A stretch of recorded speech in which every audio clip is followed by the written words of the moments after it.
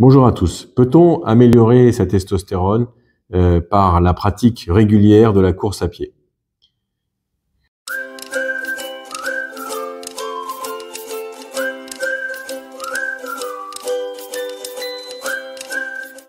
L'amélioration de son taux de testostérone de façon naturelle est un sujet euh, très répandu actuellement sur Internet et vous allez être amené à lire des choses qui sont vraies, mais également d'authentiques euh, erreurs.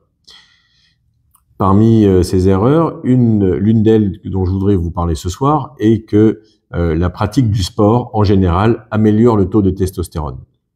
Euh, eh bien, il s'agit d'un détail qui n'est pas tout à fait vrai. Premièrement, avant tout, s'il s'agit de pratiquer le sport pour perdre du poids et perdre de la masse grasse, oui, c'est vrai.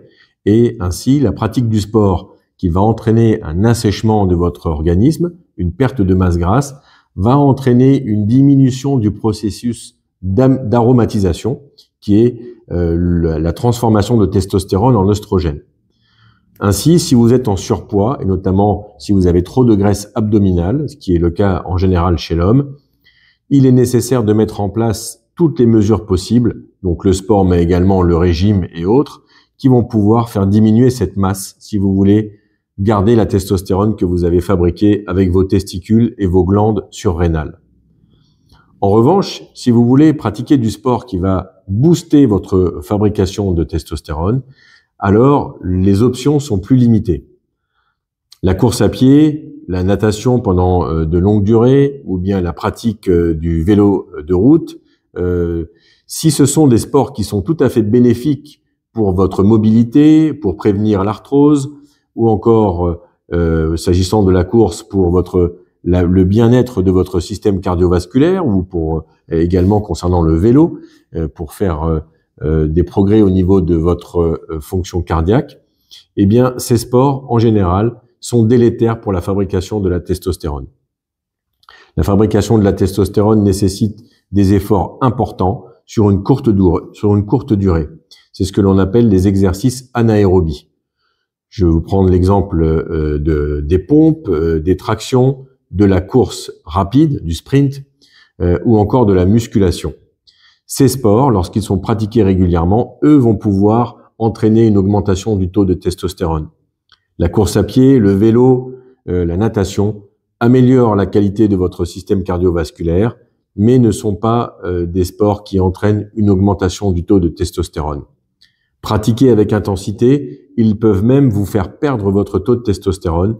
Et je pense notamment à ceux d'entre vous qui pourraient s'épuiser en s'entraînant euh, en vue euh, d'une épreuve euh, extrême comme le, un ultra trail ou encore les épreuves que l'on appelle Ironman.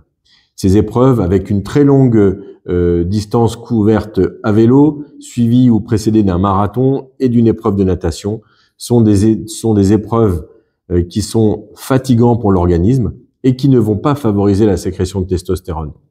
En résumé, une alimentation équilibrée, pauvre en sucre et plus riche euh, en protéines et en graisses, qu'on appelle le régime keto, keto diet, des nuits euh, réparatrices à heure fixe avec suffisamment d'heures de sommeil et également la pratique d'un sport intensif en termes euh, d'intensité sur une courte durée que l'on appelle anaérobie.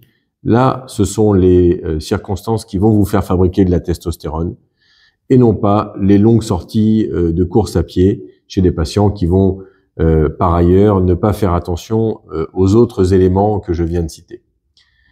Faites donc attention à tout ça quand vous lisez sur Internet avant de décider de changer d'habitude pour fabriquer plus de testostérone et je vous invite à nous retrouver sur cette chaîne pour d'autres contenus, notamment concernant les compléments alimentaires qui peuvent vous aider à atteindre vos objectifs. À bientôt.